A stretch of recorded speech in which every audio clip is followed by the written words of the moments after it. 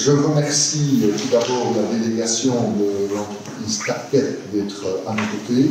C'est une délégation qui, pendant le partage de a pu nous présenter les difficultés rencontrées au sein de cette entreprise par essentiellement le personnel évidemment du travail, puisque l'actualité est quand même assez nourrie déjà depuis quelques jours à l'égard de cette problématique qui touche l'entreprise Target et le groupe en tant que tel. Alors s'associe à la démarche le collège presque au complet euh, de Gouvy. Donc euh, merci à la d'avoir mobilisé ces trois collègues pour venir euh, également à cette rencontre. Je crois que les autres bourgmestres, euh, s'ils sont absents aujourd'hui, parce que vous avez vu les échanges dans le mail, ce n'est évidemment pas un manque d'intérêt de leur part, mais la période est un peu compliquée. J'imagine que du côté de l'entreprise, on va aussi poursuivre les contacts, puisqu'il y en a déjà eu, et que je pense qu'il n'y a pas un seul bourgmestre qui va se désintéresser de cette problématique. Alors, comme je l'ai introduit euh, lorsqu'on a débuté notre réunion, c'est vrai que dans des communes comme les nôtres, euh, on n'est pas du tout habitué à euh, des, nouvelles semblables, avec des licenciements de, plus de 100 personnes. C'est quelque chose qui, qui nous perturbe vraiment. et je disais aussi d'emblée qu'une entreprise comme une, une commune comme Vielsam compte quand même deux grosses euh, entreprises, pas vraiment de la taille de l'entreprise de Target, mais juste un peu en dessous. Et que je me disais, oulala, si jamais euh, des choses pareilles devaient euh, se passer dans ma commune, même si celle-ci est aussi impactée au travers de, ce qui va être présenté par la délégation syndicale de l'entreprise bon, il, s'agirait de réagir, puisqu'avec des entreprises comme Unilair et comme UBV, qui tout de même plusieurs centaines de personnes, euh, l'impact social serait euh, vraiment très important. Et alors, je disais, il y a la commune de Bouville a un tissu de, PME qui est, qui est plus nourri finalement euh, que, la commune de, de mais donc l'impact lorsqu'il y a des difficultés pourrait être moindre, même si, Véronique l'a rappelé, il y a une entreprise comme l'entreprise Pose qui compte également beaucoup de, personnes, mais je ne sais pas vous dire exactement le nombre. Ceci étant, toutes ces petites entreprises qui constituent aussi d'autres tissus, que ce soit le tissu de ou le tissu de, de ben, euh, sont aussi parfois en lien, on a notamment cité l'entreprise de Bouvry, en lien avec les activités de Target. Donc euh, il y a, comme euh, l'a rappelé Alain euh, de l'emploi indirect derrière tout ça. Donc on dépend aussi au travers de, des activités et l'activité économique de ces entreprises. Donc faut forcément euh, marquer un intérêt. Alors, euh, l'initiative revient à, M. Hamilton qui m'a envoyé un mail euh, 2 mai. Et donc, moi, j'ai trouvé intéressant de, rencontrer les personnes qu'il souhaitait inviter, des, des deux syndicats, d'ailleurs, principaux de, du Grand-Duché, l'OGPL et Tocheco qui représente le CGB, pardon, parce qu'on n'est pas habitué à ces termes-là en Belgique. Euh, donc, merci en tout cas, les deux, les deux syndicats principaux, j'imagine, sont bien autour de, de la table. Voilà.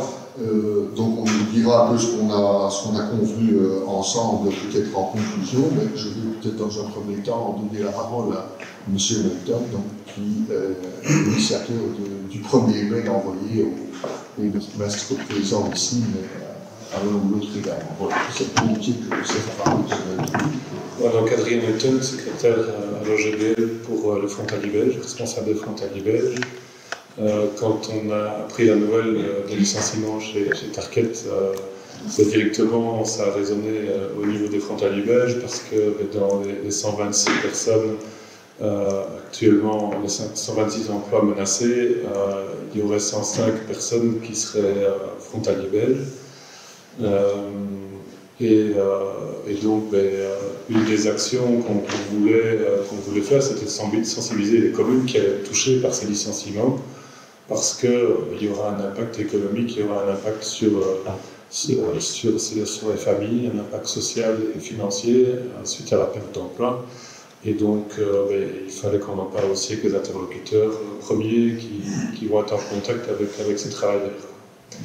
Et en ce qui concerne l'entreprise Target, je vais laisser plutôt Alain et, Jacques expliquer la situation et le déroulement et le climat social de l'entreprise, vu que c'est eux qui sont, qui sont en négociation actuellement du plan social avec l'entreprise, et donc c'est eux qui vont pouvoir le dire aussi. Merci.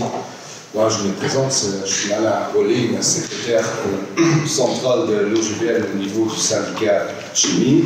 C'est moi qui est en charge euh, de la négociation du fameux plan social que Marquette a initié dernièrement. Ce qui me choque euh, le plus euh, dans cette annonce chez Marquette, il y a encore quelques semaines en arrière, on a signé un plan de maintien dans l'emploi. Comme le mot le dit, déjà, un plan de maintien dans l'emploi, c'était pour maintenir l'emploi chez Target. Et quelques semaines plus tard, plus tard, hein, on nous annonce un plan social avec euh, des licenciements, 126 licenciements. On n'était pas du tout d'accord parce qu'il faut, comme je le répète, on a signé un plan de maintien dans l'emploi et après quelques semaines, on nous annonce des licenciements, ce qui ne va pas euh, du tout. On nous a trahi de notre euh, confiance parce qu'on avait toujours un bon dialogue social avec les dirigeants de Target. On a tout fait pour maintenir l'emploi. Et d'un moment à l'autre, sans nous concerter, ça c'est le pire dans l'histoire, on nous annonce d'un jour à l'autre, on va maintenant procéder au licenciement. Ce qui est normal, qu'on se, se sent vraiment trahi par cette confiance qu'on avait toujours euh, mutuelle euh, envers cette euh, direction-là. Et là, vraiment, la confiance, elle est vraiment détruite, hein, vraiment détruite. Parce qu'il faut savoir, maintenant, ils veulent procéder à 126 licenciements, et il y a des mesures, au Luxembourg, on a la possibilité de trouver des mesures sociales sans passer par des licenciements. Ça, c'est le pire dans l'histoire, comme le fameux plan de maintien à l'emploi qui est maintenant tombé à l'eau parce que euh, j'ai déjà entendu que Monsieur le ministre, parce qu'il a homologué euh, ce plan de maintien d'emploi, parce qu'un plan de maintien d'emploi doit être homologué par le ministre du Travail, et ce plan de maintien d'emploi, vu l'annonce de Target, il va être rediscuté dans le comité de conjoncture et peut-être même être revoqué, hein, ce qui est très euh, grave.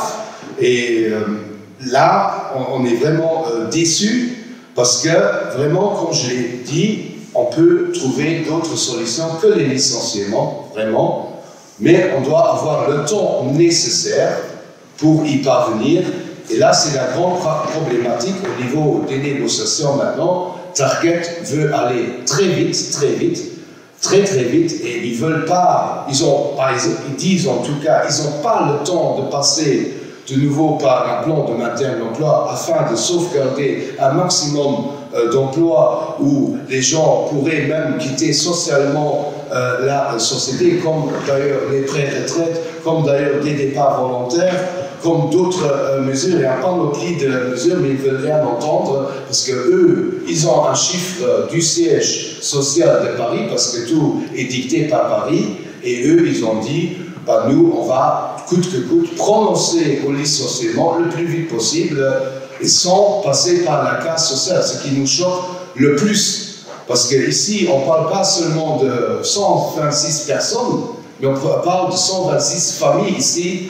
Euh, il y a plus qu'une centaine dans la région ici transfrontalière au niveau de, la Belgique, et ça c'est quand même très très grave. L'impact pour toute cette région-là, et même pour le, Grand-Duché d'ailleurs aussi, hein, je crois, parce qu'on parle toujours de, de, de, frontières, Luxembourg, le Grand-Duché, la Belgique, mais il faut savoir, ici, je parle certainement du, du nord euh, du pays, du Grand-Duché, si on fait un petit parcours au, sein de la société, je crois à 90% des, des, gens qui travaillent au nord, c'est des frontaliers belges, euh, c'est des créateurs de richesses non seulement pour euh, la Belgique, mais aussi pour le Luxembourg. Et si maintenant on va licencier, pour licencier les gens-là, ça a un impact très grave, parce que non seulement Target va licencier, peut-être euh, une ou une autre société va se peut-être dire, ils vont avoir le goût, si c'est tellement facile de licencier des gens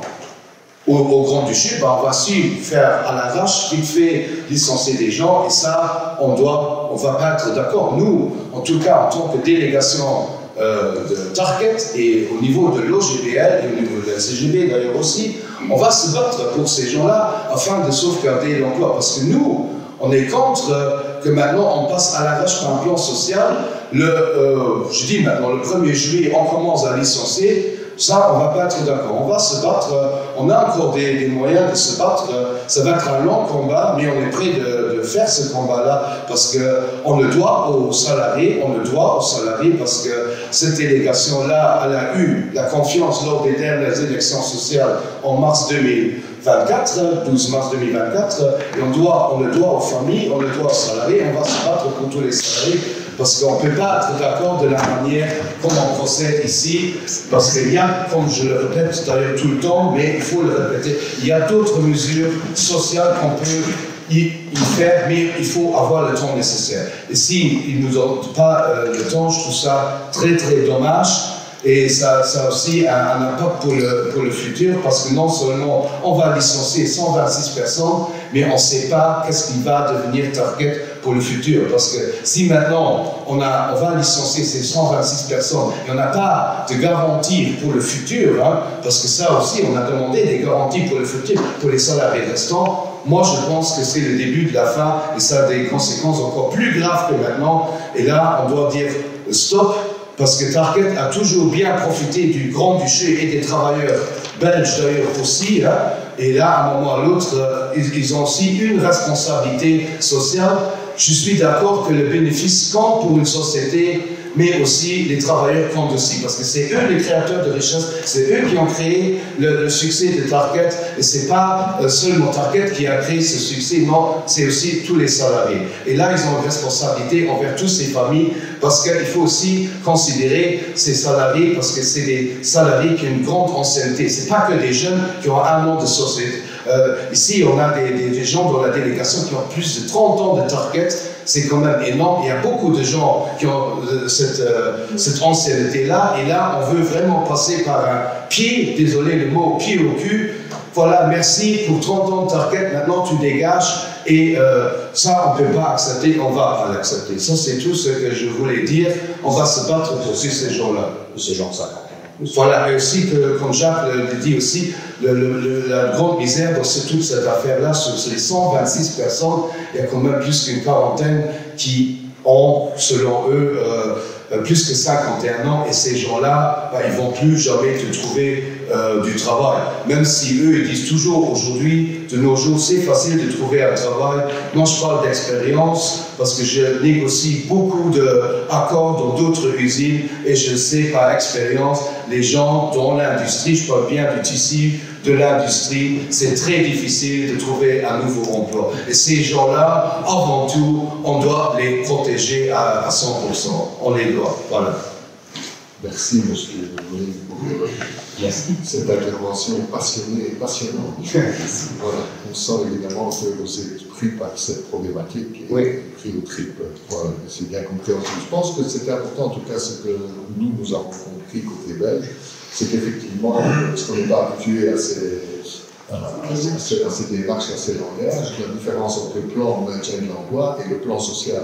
Le plan de maintien de l'emploi, ben, c'était quelque chose de très positif, finalement, et accordé par le ministère du Travail au Grand Duché, pour des personnes qui avaient 37 ans de carrière, si j'ai bien euh, ça, mixte, hein, donc ça pouvait être chez euh, Grand Duché comme chez nous en Belgique ou ailleurs, et y avait 57 ans. Donc ça veut dire qu'il y avait déjà un plan de de, programmer le départ de ces personnes. Évidemment, pas à la mur à laquelle aujourd'hui on programme les choses. Et donc, on a transformé ce plan de maintien d'emploi ben, en un plan de qu'on appelle plan social. Mhm. Je trouve que le mot n'est pas très adapté, hein, parce que je ne sais pas ce qu'il y a de social derrière ça, mais en fait, pour moi, c'est un plan de. Donc ça, c'est important. Et ça, c'est ce que, en tout cas, on a pu comprendre aujourd'hui, et qui est terriblement décevant, pour ne pas employer un terme syndical, mhm. je peux euh, mais c'est terriblement décevant, parce que on, vient de négocier un plan de maintien Alors, qu'est-ce qui a changé en quelques semaines?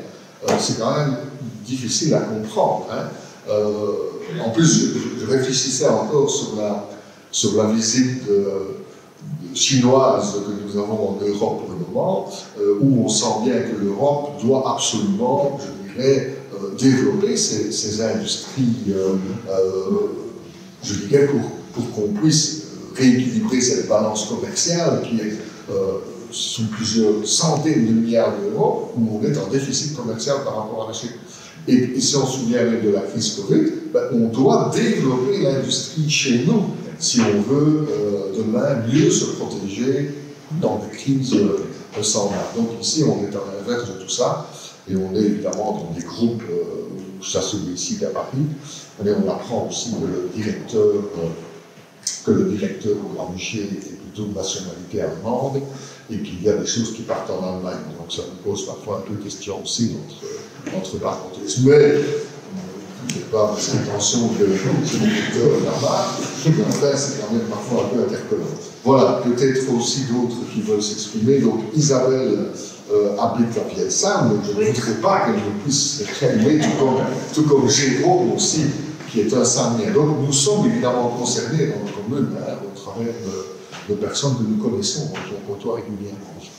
Voilà, oui, donc euh, je m'appelle Isabelle, j'habite à Vielsalm et je travaille chez Tarkel depuis 33 ans. Euh, voilà, je suis partie de la délégation, je suis secrétaire et déléguée à l'égalité. Et donc voilà, je suis très impactée par cette décision parce que c'était une entreprise familiale de départ. Et puis voilà, le résultat, euh, et qu'après autant d'années, ben, certains de mes collègues vont quitter la, société et euh, avec des difficultés à retrouver un travail, bien entendu. Voilà. Avant de céder la parole, parce que a aussi va vous montrer qu'il euh, est assez violent. Jérôme, parce que les Sarmiens sont plus modestes. parce que la Isabelle et, et euh, M. Ardan pourra clôturer une nouvelle intervention de vos syndicats. Euh, ben voilà, moi je me présente, Jérôme Ballet, donc je suis euh, Sarmien, je travaille chez Tarket depuis euh, un peu moins de 15 ans. Et en fait, euh, voilà, évidemment, je suis impacté comme, comme, tout le monde par euh, cette nouvelle, étant donné en plus que la ligne qui va être complètement démantelée cette année où moi j'ai travaillé. Euh, et là, les 126 personnes que, que eux annoncent, euh, alors que, comme on l'a dit, euh, ils avaient prévu tout autre chose avant, on ne comprend pas trop ce qui a pu se passer entre la main du, du, plan maintien d'emploi et, et ici un plan social. Mm. Et voilà, on est tous sous le choc et on fera vraiment le, le, maximum pour tout le monde. voilà peut-être important, euh, monsieur, monsieur de, rappeler un peu la façon dont ça se passe chez vous. Donc, vous avez un timing ici, et puis vous avez euh, une concertation. enfin, c'est intéressant, je trouve, pour la presse et pour nous, de voir un peu comment les choses vont évoluer euh, dans le temps ici, et, quelles sont encore vos, possibilités et les portes qui sont devant vous. Je vais commencer depuis le début. Donc, c'est-à-dire que le 20, la semaine avant le 22 avril, euh, notre DRH avait sorti une note comme quoi la date du 22 avril serait consacrée à du chômage euh, partiel pour toute entreprise, avec le 23 avril une séance d'information pour tout personnel. Donc, en tant que délégation, nous avons demandé à la directrice des ressources humaines qu'est-ce qu'il en était de cette séance d'information-là. Euh, sans réponse, bon, ça concerne l'activité, mais voilà, situation d'entreprise. On avait eu des échos où ça avait tendance à partir vers autre chose qu'une séance d'information, donc on a réinsisté pour avoir des infos, toujours la même chose, activité, situation d'entreprise. Donc le 23 avril, euh, pour finir, on n'était pas invité, comme des choses doivent se faire au Luxembourg, il y a un bureau qui est mis en place au niveau de la délégation qui doit informer de toute situation d'entreprise. Pas de réunion avec le bureau. Donc j'en fais part à notre secrétaire qui envoie un mail. de là, elle parvient quand même à fixer un rendez-vous, donc le 23 avril à 9h30. Donc toute la délégation est présente. Et de là, on nous informe avec euh, M. Barras qui était descendu de Paris comme quoi la ligne d'induction 4 mètres allait être fermée totalement au 31 décembre, avec les conséquences de 126 pertes d'emploi. Dans la ligne qui doit fermer au 31 décembre, il y a 60 personnes qui travaillent, mais les 60 personnes ne seraient pas toutes licenciées, on garderait une partie du personnel. Les 126 personnes concernent tout ce qui tourne autour de cette ligne-là. Donc ça concerne aussi bien la logistique que la maintenance, que la finance, que du planning, que la comptabilité, que les ressources humaines, enfin, ça concerne toute entreprise. Euh, donc de là, ben, on a suivi après cette réunion-là, on a vu les secteurs concernés par la fermeture le 31 décembre, et puis tous les secteurs ont été vus pendant le courant de la journée pour nous informer. De là, on a eu un planning euh, qui a été mis en place le 29 avril, on s'est vu pour commencer les négociations avec la direction, où on nous a présenté la situation, sans aller beaucoup plus loin. Le 30, on a commencé à avancer un petit peu dans les discussions, euh, mais sans plus, hein, rien plus. Et puis, que je me souviens parce que tout le monde férié. Le premier, c'était férié. Le 2 mai, on avait demandé deux jours pour que la délégation puisse établir un cahier de revendication et réfléchir à ce qu'on pouvait mettre en place pour essayer de sauver le plus d'emplois possible. Donc, on s'est revu hier le 6 mai, si je me trompe, le 6, où on a avancé, mais par petits pas, dans les négociations, où on a proposé des départs volontaires qui au départ étaient refusés. Et puis on est revenu en disant oui, on veut des départs volontaires, mais il faut qu'en date de 14 juin, les gens soient positionnés, ce qu'on trouve un petit peu court comme délai. Mais il y a toujours une date butoir qui est le 31 décembre. Le 31 décembre, les 126 personnes doivent avoir quitté l'entreprise. Il n'est pas question d'en avoir 100 au 31 décembre et 26 ensuite, c'est 126. De là, on a réuni tout à l'heure à 13h pour voir un petit peu ce qu'il y a des autres. Enfin, continuer les négociations. Qu'est-ce qui est des montants de départ? Qu'est-ce qu'on peut encore faire pour avancer et essayer de sauver, euh, ne fait ce que ce soit au niveau des pré-retraites, au niveau du départ volontaire. Voilà, là où on est. Et alors par la suite, ce qui est intéressant aussi, c'est que vous avez parlé, donc ici la date c'est le 13 mai, la procédure que vous avez mise en cause, et puis vous avez une conciliation de trois jours, et puis... Non, non, non, c'est trois jours où on doit décréter en fait le non-accord du plan social. Oui, et après, euh, c'est la conciliation qui commence aussi alors avec un délai de 15 jours. On a 15 jours pour négocier, trouver un accord ou pas d'accord. Trois jours de battement pour essayer de voir où on va. Si après ces trois jours-là, c'est toujours non accord, là on part pour 15 jours en conciliation. Et s'il n'y a pas de conciliation, c'est pas d'accord, on fait conciliation, le patron peut licencier individuellement, individuellement avec le légal, mais pas l'extra. La conciliation se passe avec les représentants du ministère du Travail. Du ministère. Donc ça veut dire que tout ce qui est frontalier belge va se retrouver au chômage en Belgique, sans allocation de classe, sans protection de CNS.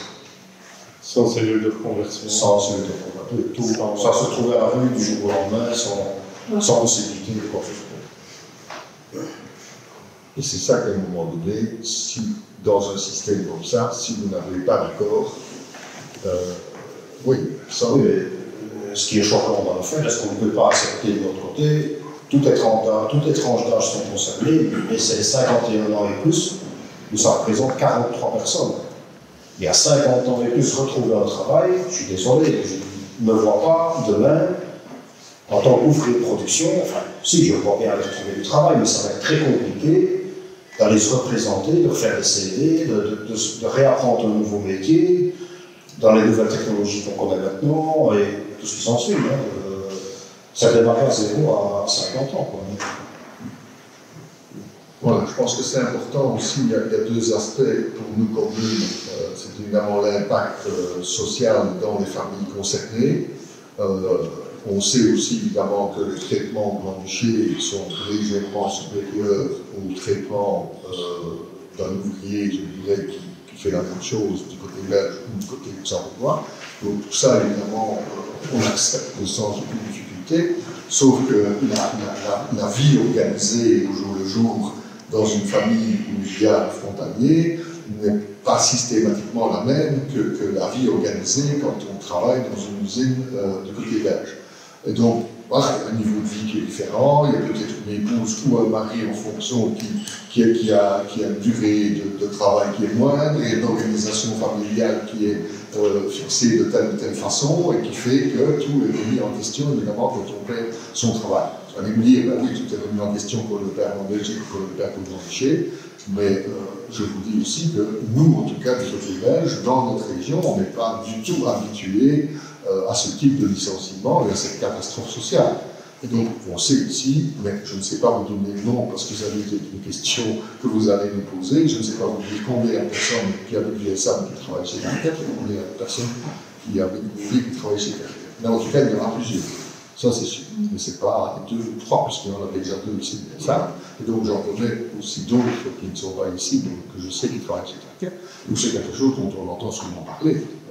Voilà, on sait que c'est une entreprise qui est proche on sait forcément qu'il y a des gens de chez nous qui risquent d'être impactés, même si j'imagine que euh, dans les meilleurs, évidemment, qu'ils vont vouloir garder, euh, il n'y a aucun samedi. Mais ça, c'est plus tard. Euh, euh, voilà, je ne sais pas si Véronique veut ajouter quelque chose, et puis on vous dira un peu comment, on a envie de procéder euh, en concertation avec les bourgmestres qu'on va étudier leur problème. Oui, ben, c'est vrai par rapport à la sensibilisation, je pense que on peut vous remercier d'avoir eu cette démarche et, de venir à notre rencontre et de nous inviter par rapport à, la sensibilisation de, cette situation. Euh, je pense que maintenant, c'est ce qu'on va pouvoir faire. Il faut qu'on y réfléchisse encore un petit peu. Il faut en tout cas qu'on se concerte les différentes communes concertées. On parlait aussi notamment du, nouveau, du niveau provincial et même peut-être du niveau européen. Euh, avoir au moins euh, un courrier à envoyer, interpeller en tout cas la, direction de l'entreprise et voir s'il y a d'autres dispositifs qu'on peut, euh, peut mettre en place pour soutenir les travailleurs, que ce soit les travailleurs belges ou les travailleurs luxembourgeois aussi, c'est pour l'ensemble que l'on travaille, même si évidemment on est plus sensibilisé ou plus impacté pour nos, citoyens. Mais ça reste une démarche qui doit vraiment être concerté et de façon à pouvoir avoir un, impact important. Je pense qu'il faut effectivement qu'on réfléchisse à ce courrier et peut-être aussi euh, sensibiliser le, ministre du Travail, euh, luxembourgeois, même si vous avez l'air de, dire que celui-ci n'est pas heureux du tout de ce qui se passe, puisqu'il a négocié, lui, un plan de maintien de l'emploi, donc forcément, euh, lui aussi, il est trahi dans, dans, son boulot. C'est lui qui approuve, euh, au travers de son gouvernement, j'imagine, euh, ce, plan de maintien de l'emploi. Donc, qui est complètement remis en question aujourd'hui. Maintenant, le fait qu'il sache que, que les bourgmestres euh, côté belge sont à ses côtés, je pense que c'est important de, oui. de, signaler aussi. Mm-hmm. Alors, deuxième impact que j'ai oublié de, citer, donc pour moi, c'est d'abord l'impact social, évidemment, qui est le plus important, mais il y a l'impact, évidemment, du retour financiers, des frontaliers euh, belges qui travaillent en rucher. On sait que ça a un impact pour les finances communales. Donc euh, voilà, je pense que c'est aussi quelque chose qui peut être dit dans des réunions comme celle-ci, même si ça ne doit pas être l'élément qui nous guide essentiellement dans notre démarche. Mais quand même, on paie des petits sous euh, si ces gens-là reviennent chez nous et se retrouvent au chômage. Parce que pour forcément, il n'y a pas d'impôt euh, euh, additionnel aux personnes physiques. Euh, parce que quand on est au chômage, évidemment, on paye bien l'impôt. Voilà, donc ce que l'on voulait vous signaler, mais j'imagine que vous avez une autre question. Merci encore de vous être déplacé.